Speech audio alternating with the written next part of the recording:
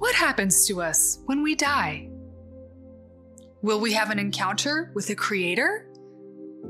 What is the soul? Where are heaven and hell? A favorite Baha'i analogy compares our life and spiritual progress on earth to the life and development of the fetus in the womb.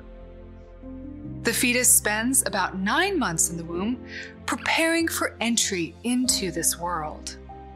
During that period, it develops limbs, eyes, ears, and other physical features essential for its earthly existence.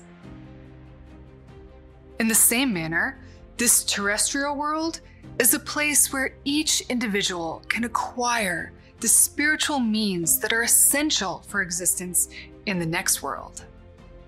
If a man possesses the knowledge of God, becomes ignited through the fire of the love of God, becomes the cause of love among mankind, and lives in the utmost state of sanctity and holiness, he shall surely attain to second birth, be baptized by the Holy Spirit, and enjoy everlasting existence. Death, or the decomposition of that body, will have no impact upon the life of the soul, which is not made up of matter.